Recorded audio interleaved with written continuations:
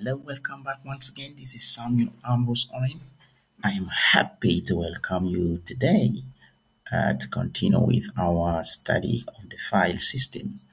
Just a recap uh, for the previous video, we talked about NTFS file system and FAT32. I forgot to mention that we are referring to the Windows file system uh, which are found in the Windows operating system, but we did not talk about other file systems. There are also other file systems that exist out there. So NTFS for Windows is still the best one when you're using Windows environment because um, it is a new technology file system and it is being used today.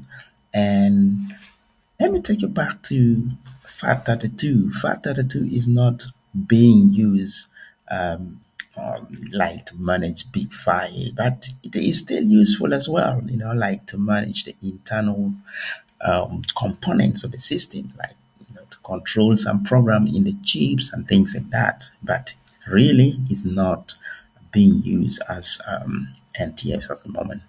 And NTFS file system originated from um, Windows NT, which was introduced by Microsoft in 1993, and just before Windows 98. But during that time, uh, it was being run, you know, side by side, you know, with a FAT32. So take note of that. Um, we have seen the advantages or the benefit or the reason why we use NTFS file system today. Simply because of its security, it comes with a strong access control list. You know, it is the most powerful file system you can ever find on earth. You know, and it is reliable because of its uh, access list. You know, it's always there. It, it has a huge page space up to 8 petabytes, you know. And um, this file system help us to control the version of our um, our programs, our our applications, our work, just like any other file. The most important aspect of file, you know, is to uh, to help us with version control of whatever we do on our computers. So file allocation table is an old system. I said it's not being used today, uh, but I was not specific.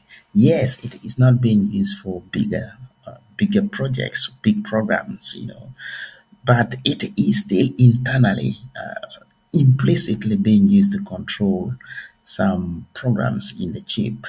So I thought it was irrelevant for you to know that, but I think it is very important. So take note of that. It is not used in the normal day-to-day uh, running of the system or management of our file system for today, but it is being used by you know by other small chips inside uh, the motherboard or the USB which support uh, a large file uh, system as well.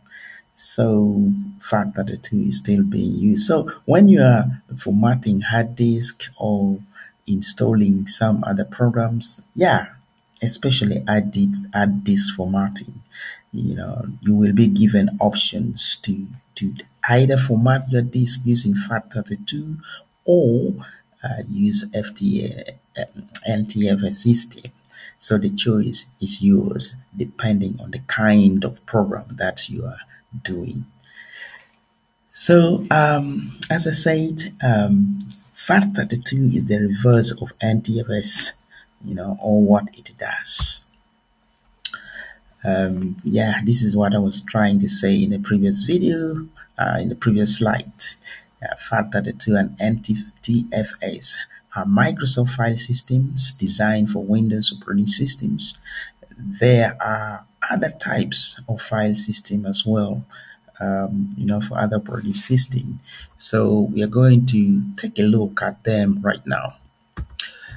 We have like zettabyte file system. Uh, this is used for uh, for large enterprise environment, you know, with high performance systems. Zettabyte, uh, zettabyte file system is, is is a big one. You find them in a data center, you know, like uh, search engines and um, you know other cloud computing systems using this file system for managing their data. And also we have extended file system, you know, or fourth um, uh, fourth extended file system, which is designed for Linux distribution systems. We also have uh, APFS, which is Apple file system. This is like uh, NTFS file system for Microsoft, but it is for Apple. You know, this is a file system used for Mac operating system, and it has replaced um, the hierarchical file system plus, which is the old system for uh, Mac OS. Think of hierarchical file system as the FAT32 for Windows, but this is for Mac operating system. So it is the old uh, file system designed for Mac operating system. And uh, we also have another version of file allocation table. As I said, FAT is still being used. You know, to prove that, you know, you can see that it's still useful, but mainly for small chips inside the motherboard and for flash drives with uh, larger file supports. So that is it, my friend. Uh, next, we are going to see uh, the storage uh, capacity of the files because it is very important for us uh, when we are learning this file system. We should also know um, the capabilities of our system, how to store, and what kind of program we are going to run, and even controlling the size of our data. So ne- next in the next coming video, we are going to explore the size or the measurement of the memory, the hard drive, which um, determines the size of the file that we have to, you know, that we, we can have in our system. So thank you for viewing. I'll see you in the next video. My name is once again Samuel Ambrose Onen. Happy learning.